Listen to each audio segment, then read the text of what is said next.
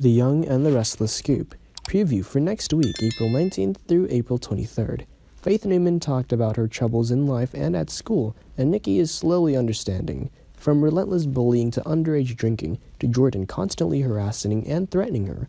Fortunately, she has a strong family of support throughout her troubles. Nikki promises that she will solve the problem for her granddaughter.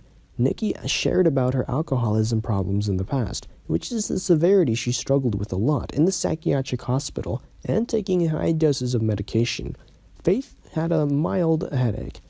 Detox for her is going to be really easy. Hopefully, by opening up to her granddaughter, Faith will learn from her matriarchal mistakes and not keep repeating history. Will Nikki succeed in handling these troubles for her niece? Victor told his wife that in the future he analyzed Adam's suitability for CEO Newman. It could be about his son Adam. Now, Adam is currently evading the law for intentional murder, but Victor's to save him. Nikki warned Victor that Victoria and Adam are both their children, and if he wants to see who's better, let them show and compete fairly. The better will be the winner. If Victor is too biased towards Adam, family life is to be a little bit in trouble, and they'll see each other as enemies. Adam is being chased everywhere by the police, Victoria also joined in Adam's investigation. She followed up and alerted the police where Adam might be. Now he's hiding at his father's ranch, and Rey Rosales suspects he's there. Since this is currently Victor's biggest secret, it looks like he'll let Nikki know. Victor was very angry when Victoria brought the police to the farm and ransacked it.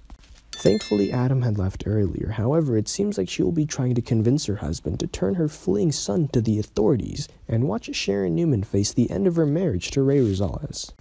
As the recent Young and the Restless spoilers have shown, Rey has made an offer. Whether he wants a clear love, divorce, or not, he needs an answer. Sharon is trying to avoid this. She wants that after Adam's case clears up, and then they'll start to talk about it. However, it looks like this time will be different from Rey, as he is completely ready to leave Sharon.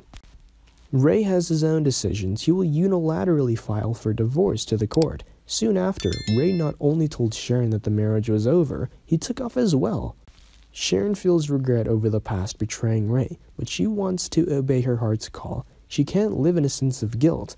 However, Sharon will find a way to win her husband over.